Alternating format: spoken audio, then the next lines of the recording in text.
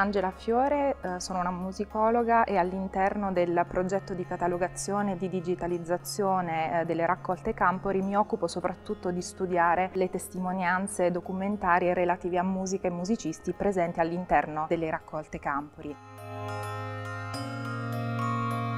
Giuseppe Campori è stato un grande collezionista, ma soprattutto un erudito, eh, i cui interessi spaziavano eh, dall'arte alla letteratura, alla storia e anche alla musica. La musica ha eh, un peso non secondario all'interno delle sue raccolte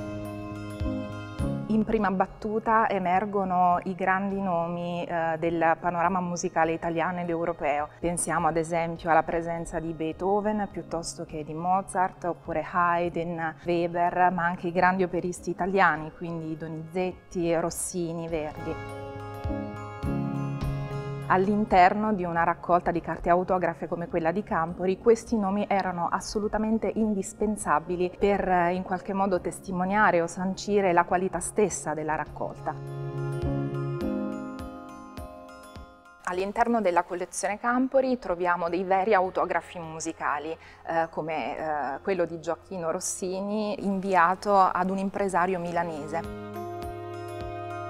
Rossini pone la sua firma come testo ad un breve incipit eh, musicale. Questo era un modo per omaggiare eh, il destinatario di questa missiva. È infatti una sorta di biglietto di auguri inviato a questo impresario per eh, la celebrazione del matrimonio di sua figlia. Molte volte le notizie musicali emergono anche da questa grande lettura a tappeto che stiamo conducendo dell'intera autografoteca, ad esempio eh, la documentazione dei regnanti come i principi e i duchi di Casa d'Este oppure i Gonzaga o ancora le famiglie nobiliari modenesi dell'Ottocento o ancora tante notizie musicali emergono dai carteggi o dalle porzioni di epistolari tra collezionisti e bibliotecari che andavano alla ricerca di manoscritti, di fonti musicali o di intere collezioni di musica. Il teatro occupa un posto di primo piano all'interno della raccolta di carte autografe, si incontrano nomi di grandi cantanti e soprattutto di celebrati virtuosi, in particolar modo i grandi castrati del Settecento italiano, uh, uno fra tutti Carlo Broschi, più conosciuto come Farinelli, oppure uh, Gaetano Maiorano, detto Caffarelli, o le prime donne, Faustina Bordoni Asse, moglie del più famoso Johann Adolf Asse, o ancora Marianna Benti Bulgarelli questa raccolta fornisce una serie di preziosi e piccoli tasselli che vanno in qualche modo ad aggiungere informazioni eh, alla storia proprio della scena teatrale settecentesca.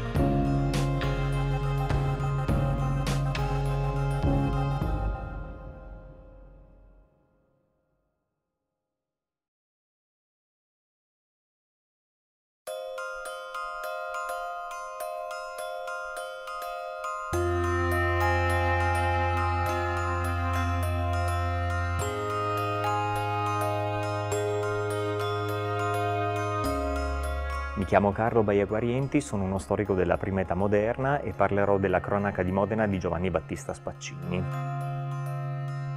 La cronaca di Giovanni Battista Spaccini è un documento eccezionale per ricostruire la vita nella Modena di fine Cinquecento e inizio Seicento per molti motivi, non solo perché è un'opera di straordinaria ampiezza, parliamo di nove volumi manoscritti,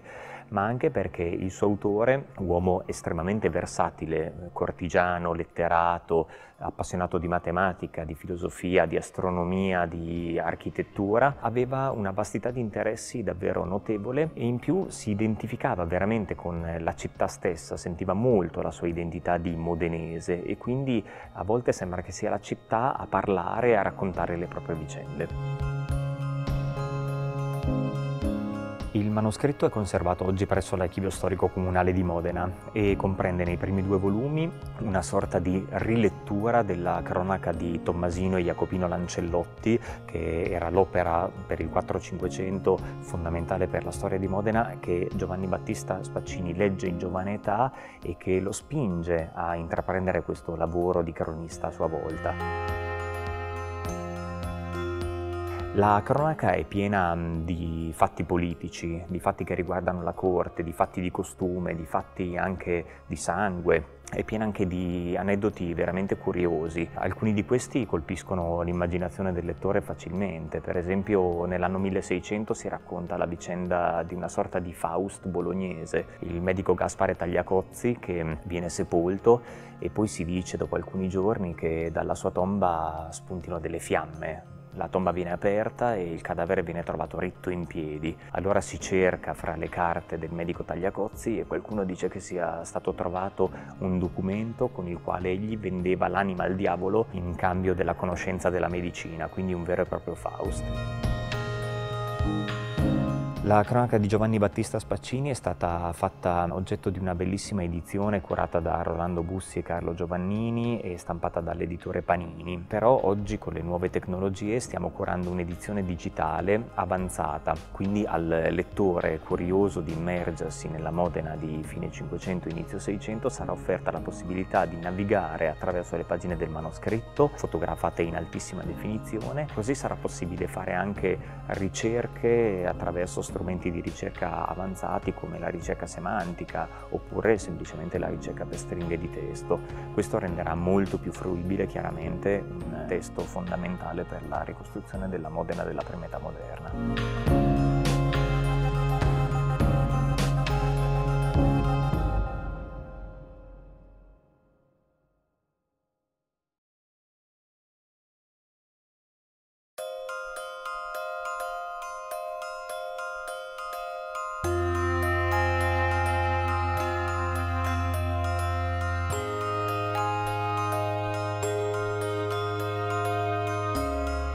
Sono Giacomo Mariani, studio la storia della religione e faccio parte del gruppo di ricerca che sta lavorando a una nuova inventariazione delle carte dell'autografoteca Campori.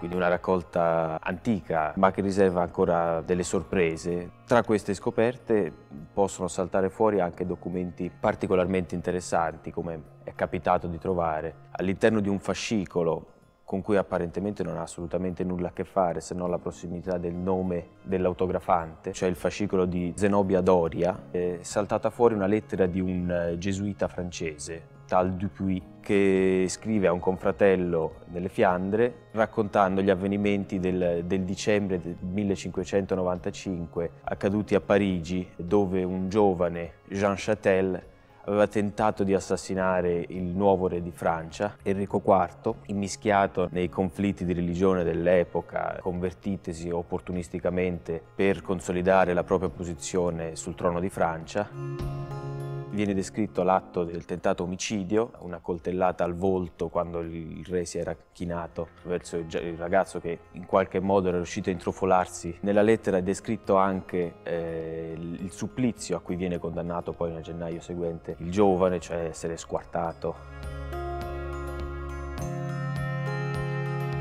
Ecco, sono tutti fatti più o meno noti da tempo, ma questa lettera dà nuovi particolari che precedentemente non si conoscevano e che adesso vengono fuori proprio dall'autografoteca Campori. Eh, l'autografoteca Campori è organizzata in fascicoli che raccolgono i documenti in base all'autografante o presunto tale. Fa parte della nascita stessa della collezione perché al Marchese Campori interessava avere dei documenti di, di autori famosi. Per la ricerca storica è importante avere altre chiavi d'accesso che permettano di svelare altre particolarità dei documenti cioè un destinatario, una data, un luogo, un contenuto anche. Ecco, noi sei ricercatori del, del DH stiamo lavorando per fornire questi nuovi dati, quindi passiamo in rassegna documento per documento, lettera per lettera, per restituire alla comunità degli studiosi, ma anche eh, potrà essere allargato anche semplicemente ai curiosi, per restituire un database che permette di accedere da più parti alla collezione. Affrontando la documentazione pezzo per pezzo potranno saltare fuori nuove sorprese, potranno venire alla luce documenti creduti scomparsi o, o, o, o mai conosciuti.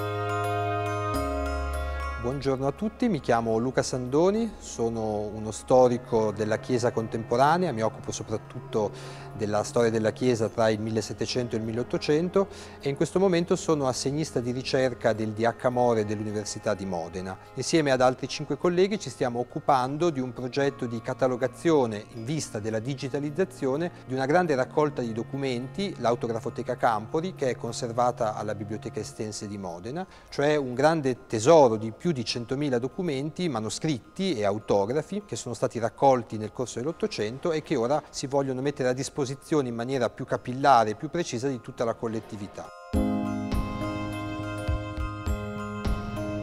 Nello specifico vi vorrei parlare oggi della figura di un cardinale della Chiesa Cattolica vissuto nel corso dell'Ottocento, Michele Viale Prelà, la cui figura è soprattutto legata alla sua attività come nunzio a Vienna tra il 1845 e il 1855.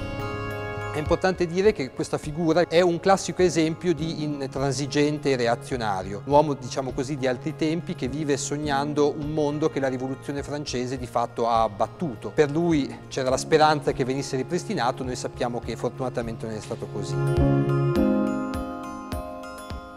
Del cardinale Michele Viale Prelà si conservano all'autografoteca diversi documenti autografi, tra i quali alcune lettere in latino scambiate all'epoca della stipula del concordato, cioè del patto tra lo Stato e la Chiesa, appunto che lui trattò per conto di Papa Pio IX con l'imperatore austriaco tra il 1852 e il 1855 ed è un accordo molto importante perché si riuscì a trovare un accordo che permetteva alla Chiesa di riguadagnare molta importanza e molta influenza all'interno dell'impero asburgico per cui uomini come il cardinale Michele Viale Prelà esultarono della possibilità di ripristinare un mondo che di fatto stava finendo. La figura del cardinale è importante anche per un altro avvenimento che ultimamente sta trovando anche abbastanza successo nella cronaca cinematografica perché era arcivescovo di Bologna nel 1858 quando venne rapito, strappato alla sua famiglia un giovane ebreo, Edgardo Mortara, che era stato battezzato senza il consenso dei suoi genitori e che per le leggi della Chiesa dell'epoca doveva pertanto essere cresciuto obbligatoriamente nella fede cattolica, nella fede cristiana e venne quindi tolto alla sua famiglia e portato a Roma. Papa Pio IX e anche l'arcivescovo di Bologna, Viale Prelà, furono assolutamente irremovibili rispetto al fatto che le leggi e i diritti di Dio fossero superiori a quelli dell'individuo. E dicevo che è una vicenda che ha trovato recentemente successo e importanza perché prima Steven Spielberg e ora recentemente Marco Bellocchio hanno deciso di dedicare un film appunto sulla vicenda di questo giovane che è stato in qualche modo sacrificato ad una visione ancora estremamente retriva e conservatrice della società e anche della libertà di coscienza. Io vi invito quindi eh, a seguire la conferenza che terrò su questo argomento e ho appunto l'auspicio che il lavoro che stiamo svolgendo insieme al DH More e alla Biblioteca Estense potrà rendere accessibile questa ricca documentazione agli studiosi ma anche a chiunque voglia interessarsi e poter vedere diciamo con i propri occhi i documenti che hanno fatto la storia.